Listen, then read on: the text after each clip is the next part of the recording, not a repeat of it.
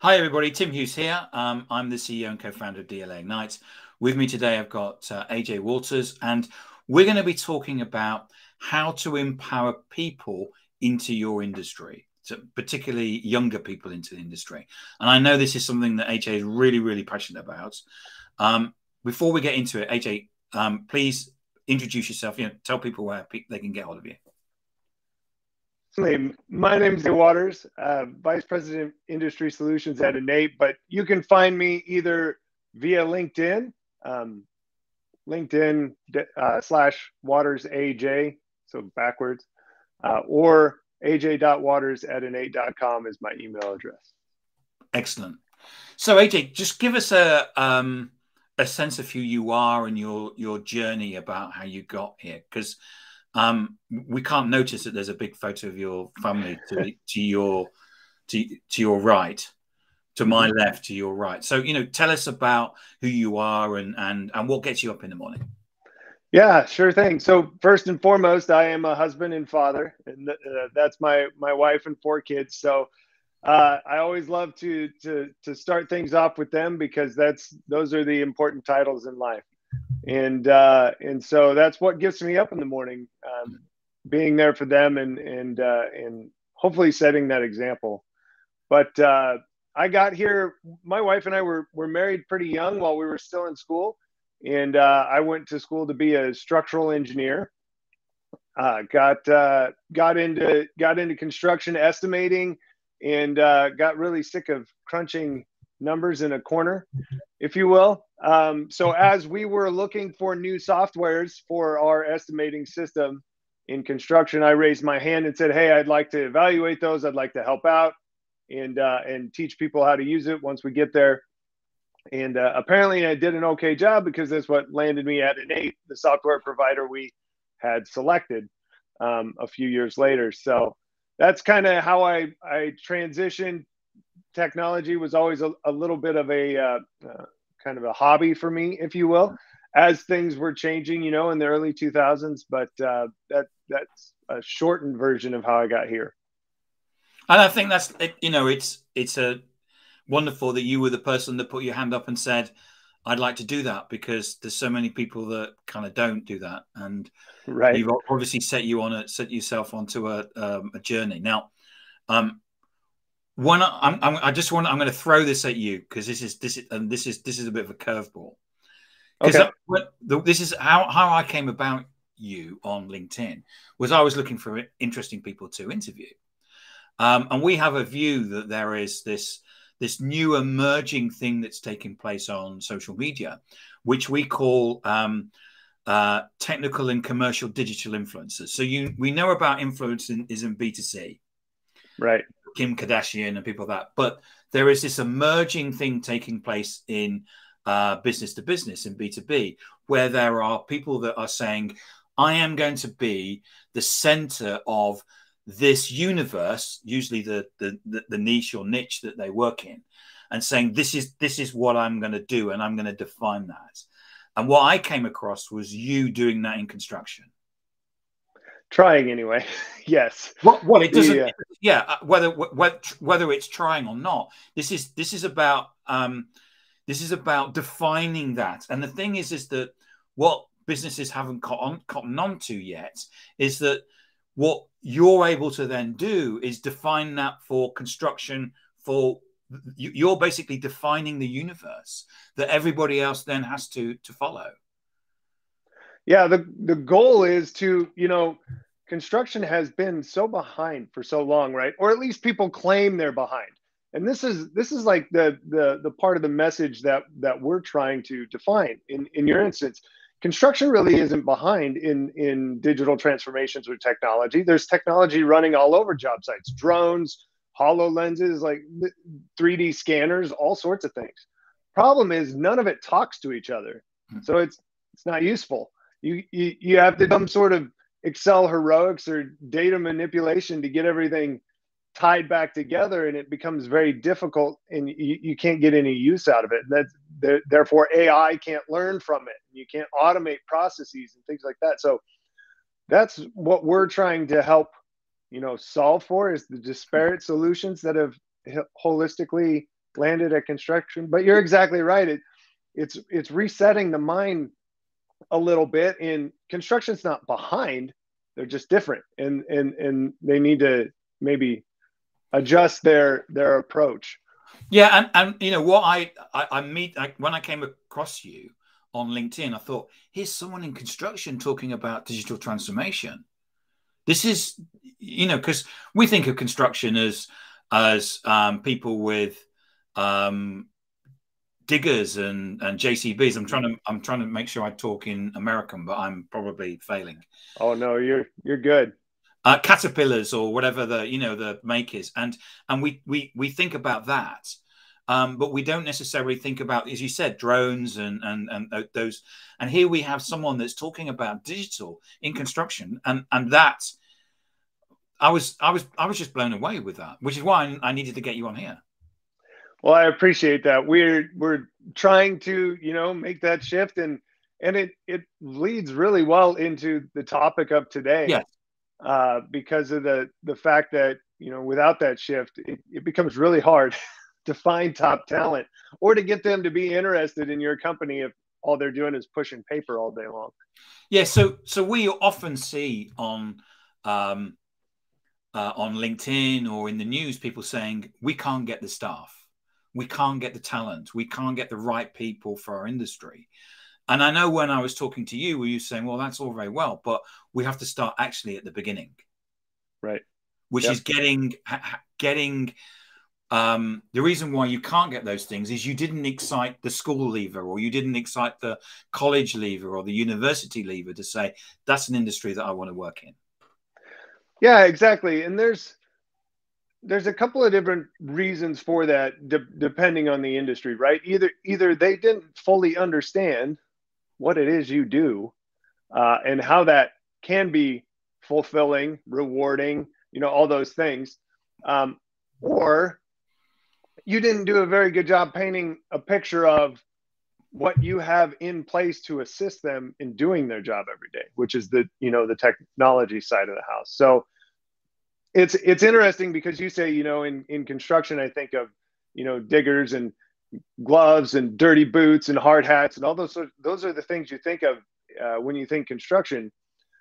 But construction has all the typical roles. Construction companies have all the typical roles that any major company would have right? So there's going to be social media people. There's going to be marketers. There's going to be sales representatives. There's there's going to be hr personnel and uh, and so you could look at a major player in the construction industry, even if you're outside of that sort of uh, out sort of outside of the typical engineering functions. And then you have the the rewarding side of the house where you can say, I was involved in building that. You know, you, we drive across bridges every day. We we go to events in major uh, stadiums or or or um, theaters uh, or or we visit you know train stations whatever it might be mass transit right? Every one of those things were built by somebody. And the amount of pride that you have when you walk into one of those places that you built to see a show with your family or to uh, when you when you think about the amount of people that ride that train every single day to work and it's because you know you you may have played a small part in that it really starts to change things even for you know the the the business development rep that contacted the developer first for the construction company right? Yeah I, I, mean you know i do it you know i'm being a salesperson. You know when i when i um, drive across or drive past businesses where i've sold them something i you know i usually say oh yeah i sold them a counting system yep. or something like that. And it and it does give you a sense of pride because you actually you just feel it in your stomach. And I can imagine that if you're in construction and you're you're sitting in a stadium where um, you help build that or the bridge or the whatever, it, it must give you a sense of pride. Oh yeah, for sure. We um here locally, I live in in a, uh, Omaha, Nebraska, dead center, United States, and uh, the the College World Series for college baseball is hmm. played here every year. And right. my favorite project they I ever got to work on was that that stadium. I went into engineering to hope hopefully work on stadiums. I got to work on that one. And now every June we get to enjoy it as a family because we go to games uh, with the kids every June. So, yeah, it, it's it's a lot of fun to be able to live that out. So, what is it that people can be doing, therefore, to to excite people when younger people to to to get into their industry? Well, one of the first things you can do is is start to get in touch with them sooner, right? Like a, a lot of people have uh, talk about, um, you know, hitting students in their junior, senior at, at, uh, at, university for for college fairs or or such, and and trying to promote your company. But you can be doing that sooner, right? You can be doing that in in uh, secondary school or in high school, right? You can be doing that in in a sense uh, where um, you're bringing the local community in. You can you can be reaching out to uh, uh, children of your employees, right? Like you, your your employees have kids that are going to be working their way up. Is the experience that your employee has is it painting your company in a positive light for their kids, or is it uh, is it making their kids think I never want to have a job like that, right? So those are some of the ways that you can be you know touching base with them earlier. But some of the other things as as they start to you know learn about your company um, in in in university and, and see who they are it, it's really good to have that message of here's how we're empowering our employees. Here's how we're empowering our com- our community right? Uh, the community engagement aspect of it. And and that's where you can start talking about things like digitally transforming or talking about things like um, doing uh, service projects for the for the community or doing things. People want to be a part of a company today and and and know that they're making an impact. Yeah. And uh, and and that's not just in the work that they do every day but in how that company is leaving an imprint on society around it right? And you you see a lot of negative press of of uh, what companies are doing to negatively impact the environment or the society around them. Um, but there's just as much positive out there if you know where to look and or you are that company trying to promote it. And I guess that um, by by doing that outreach, at the same time, what you're doing is that you're you're in effect you're saying hello we're here hello we're here and and you're getting the um, the positive things about that that company obviously cares because they're getting involved in the community, they're getting involved in uh, whatever it is. But you're also getting the visit- visibility in terms of the of that of your particular market or vertical. Yep. Yeah, you want the you want the community to feel like you know if that company had to leave, yeah, they would be they would be worse off, right? As a community, yeah. like it would hurt them if you left. Not good riddance, right? yes and so that's that's the kind of um, that's the kind of message that you can start propagating even when folks are younger because they'll feel that that uh, that sense of pride of then as they get older yeah now i work for that company. So that could be things like also like sponsoring sports teams or yep. um, sponsoring the sports coach or something like that. Just get, getting that visibility within the the school or the college or the university Yep. Or sponsoring local community events, local fundraisers, um, uh, the, the, you know golf outings for for uh, fundraisers, all sorts of things. Just having that presence and and and and putting on a, a you know a, a positive attitude with it, right? Not a we have to be here or or we're gonna uh, get a negative mark, but actually wanting to be there and wanting to to be a part of the community. And, and and I guess this then has this. So, so you're what you're doing is that you're making sure that the the um, I mean, from a construction point of view, also you need to get over the fact that it's not just um, dirty boots and stuff like that, but there's yep. also you know there's a you know you, you'll find that some people will say, I don't want to work at a desk, I want to work outside. Yep. Yeah, or you be wanna, creative even. Yeah, yeah. Well, I mean, this this is well, you know, so so so explain to us how a creative could could work in construction. Yeah, that's so. I've got the wrong view set up here because th- this shelf right here beside me is is all my my collector Lego sets.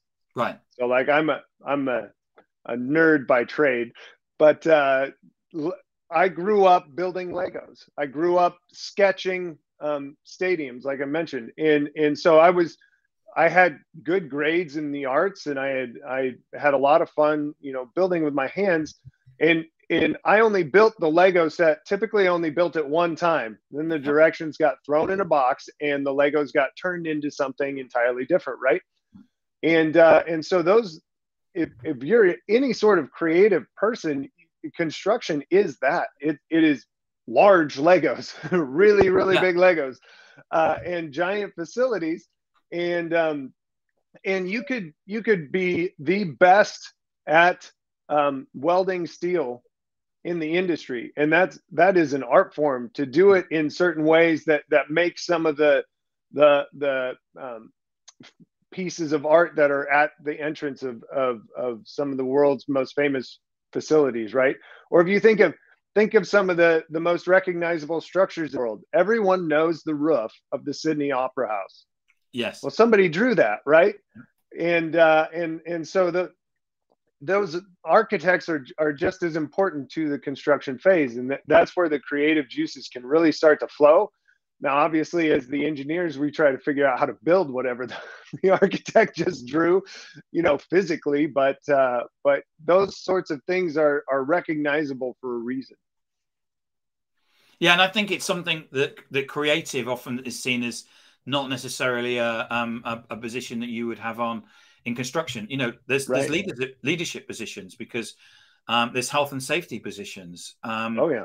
Uh, and and so um, there's a there's a there's a, as you say there's a lot of the traditional things that you would get in a company required within a, a construction environment, accounting, for example.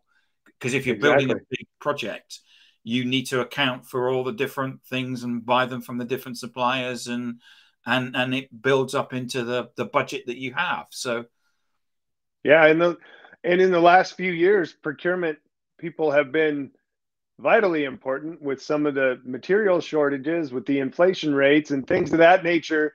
Their role becomes incredibly important because because you need to know when to buy it before yeah. you lose your price, but before it's not too early to be on the site and things like that. Yeah, yeah, yeah. And that's one of the things about um, uh, about procurement. Always is about making sure you're getting the right price and the right quality, but you've also got to get it there at the right time. Um, and yep. if you're shipping something from South Korea, um, you know that that will have an impact because it will take. You know, to, if you shout, ship something from South Korea to, to the UK, it takes six weeks. So um, you, you know, there's a there's a timing element. Exactly. You you've got to order it soon enough to get it on site for the schedule. And one of the, we're building a new high school here in the the city I live in uh, all the all the roofing material they purchased a year in advance because of some of the supply shortages, and so they um, had to rent a nearby parking lot to store it uh, for this extra year. So it's just sitting there uh, in in this parking lot over by the high school because they didn't want to have that issue where it held up the schedule when it was time. Yep.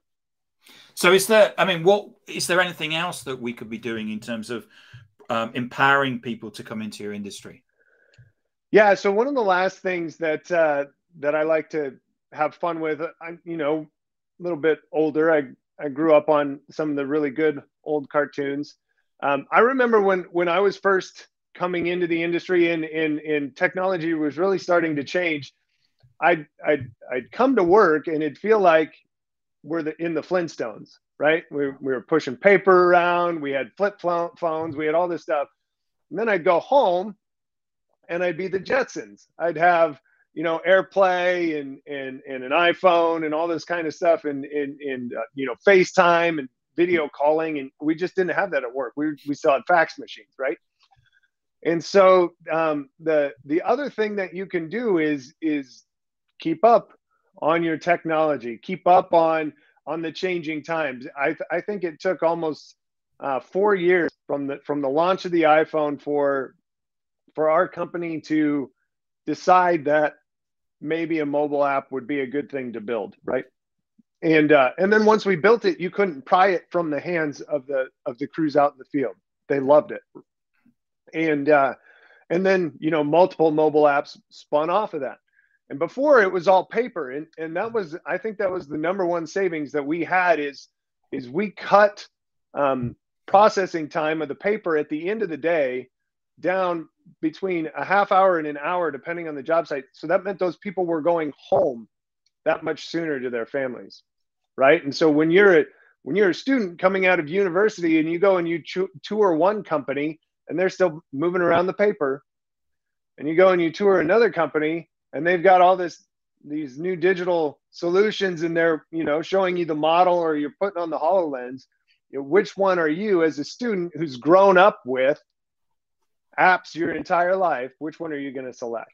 Exactly. And so that's what they know uh, it's it's inherent to them these days and, and so attracting that top talent will really come down to you know how can we best work with what they know so we've had a question. So I don't know if you okay. can um, um, answer this, uh, AJ. This is a question here from from um, uh, Viren, which is uh, he appreciates that you're in the construction industry, but you do have an, a bit of an IT um, background as well. Mm-hmm. Um, how would you transpose for the IT industry to keep younger people engaged and retained?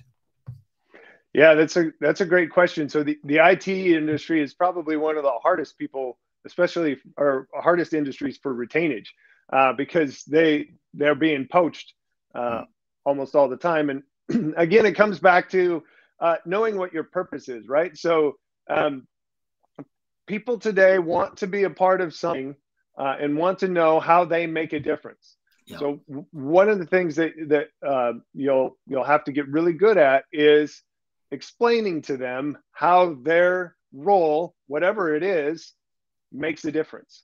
Um, I have my my brother, for example, works for a, in the IT industry, and he's in the upgrade center, and he absolutely loves his job. All he does is he helps upgrade customers, right? And uh, and but he he understands where that adds value and why, it, to a lot of people it might be very monotonous. But uh, but if you understand your purpose and you understand how it how it's adding value to um, your customers then that uh, that really helps in in in maintaining uh, a positive working environment for that employee. The other thing that's it's going to be hard for every company but it, it'll come down to recognition then as well right so um, if uh, if people don't feel like they're valued, then uh, then that you you increase the risk as well for that retainage. So um, take a hard look at your recognition program and and see. Uh, I, I worked for a company for a little bit where we were able to do peer-to-peer recognition, and I thought that was one yeah. of the coolest programs uh, that uh, that I'd seen. And uh, and so maybe take a look at something along those lines. Fantastic. I hope that um, uh, helped you, um, uh, Viren. Um, hope that was useful. AJ, thank you so much for coming on today. The, the 20 minutes just go very, very quickly. Yes, um, thank you for coming on and sharing your insight. I mean, I, I just think it's so important that um, for all organizations to, to get involved in the community because that there's lots of reasons to do it. Some of them are quite selfish. Some of them are, are, are about making sure that you're actually part of the community. But Right. It's also about making sure that you um, you get the right stuff. So um, so thank you. Remind people where they where they can get hold of you, AJ. Yeah, just uh, real simple on LinkedIn, Waters AJ, uh, or search AJ Waters. I, I don't know of very many others like me out there with the initials, but uh, otherwise AJ.Waters at InEight, I N E I G H T dot com. Fantastic. Thank you so much for coming on today, AJ. It's been great. And thank you for sharing your your knowledge. Yeah, thank you, Tim. I really appreciate it. You're welcome.